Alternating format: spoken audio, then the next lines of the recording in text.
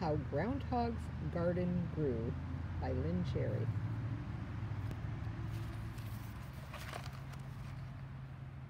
Little Groundhog was hungry.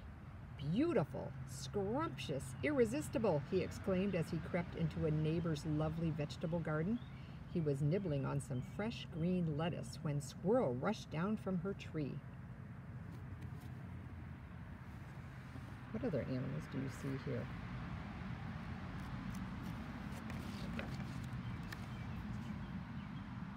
Little groundhog squirrel scolded, This food does not belong to you. If you take food that belongs to others, you will not have a friend in the world. Why don't you plant your own garden?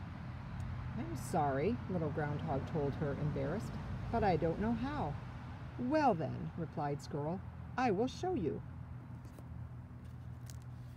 What vegetables do you see here?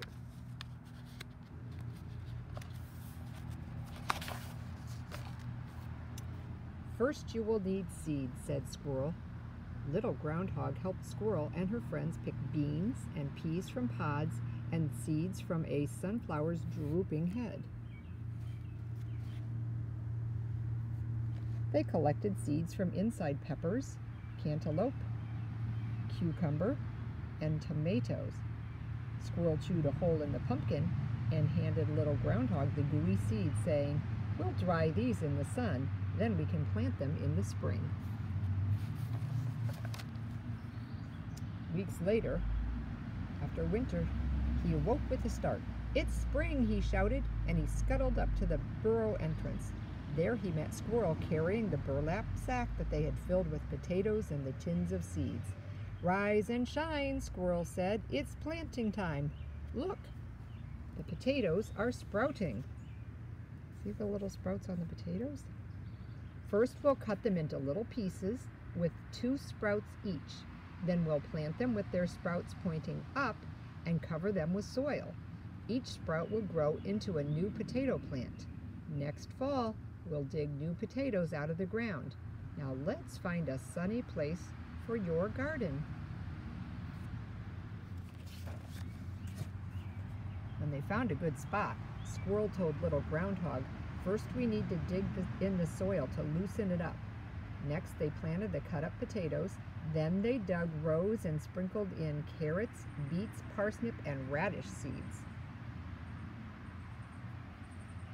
All of these vegetables will grow under the ground, Squirrel told him, so we call them root crops. They covered the seeds with dirt and gently watered them. At the end of each row, Squirrel stuck markers to help them remember what they had planted.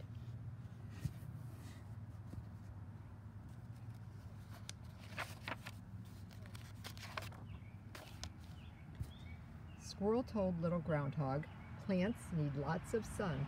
We'll plant taller vegetables in the back so they won't cast a shadow over the shorter ones.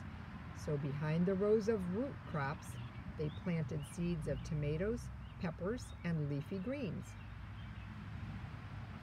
Some vegetables grow on vines, said Squirrel. She pounded sticks into the ground for the pea and bean plants to climb.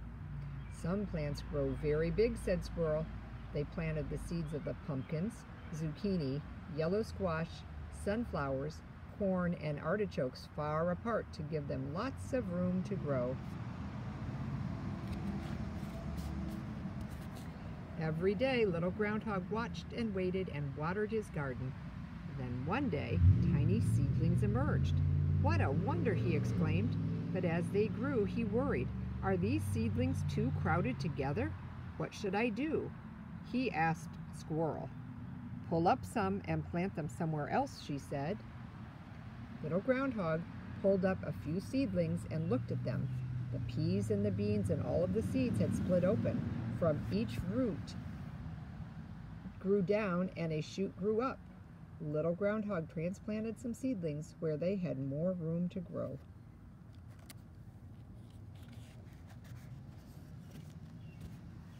That's the end for now, but we'll take a look at this book again.